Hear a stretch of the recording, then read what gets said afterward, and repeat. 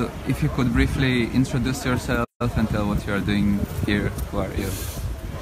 I'm uh, Peter Muyshondt from Belgium, serving police officer who lost his brother 11 years ago doing an overdose, heroin, cocaine, legal medication, and uh, alcohol. And I'm standing up for other drug policies. I'm involved in Anyone's Child, which is a campaign from Transform Drug Policy Foundation, and LEAP. LEAP is Law Enforcement Against Prohibition, and we try to influence politicians. We try to influence the big mouths to in order to change our actual drug laws. Mm-hmm. Can you say something very shortly about your personal experience with both the drug law and drugs? Um, well, I lost my brother. He started doing drugs when he was 14 years old, ended up with a needle in his arm when he was 28. And then I was a firm believer that prohibition was a good approach. But on the other hand, when he died, it was uh, he was irreplaceable and, and, and it was final. And then you start thinking, did this did these drug policies help my brother? Did it help us as a family? And then the only conclusion is no, it, it made it worse uh, by incriminating him, by putting him in jail, by um, not allowing him uh, an easy access to, to treatment, by putting a stigma on him. We, we, we just made it worse by this. And then you start thinking, you start talking, you start informing, document to, to document yourself, and then you see there's a lot of things that might change doesn't have to cost a lot, but it will help a lot of people.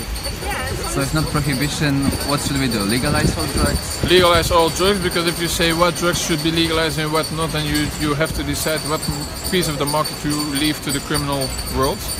So if you legalize everything, there is no such thing as prohibition. Then you can start working on healthcare, on social issues, and and there will always be addiction. There will always be problematic use, but drug use will not definitely increase you will have to you have to look at into into perspective. If you start using some ecstasy or cannabis, you might drink less because now people keep on drinking alcohol because other substances are not uh, allowed.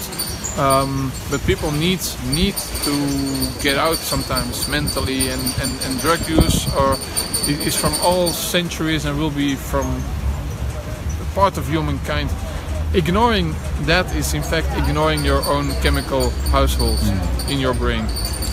Okay, so last, last question. I understand that uh, why we shouldn't uh, criminalize, for example, drug users, but should we allow for a legal sale of drugs, the commercialization of drugs? What do you think about this? I don't think commercialization is a good thing, but then the profit comes up, and then it's, it's all about let's use as much drugs as we can.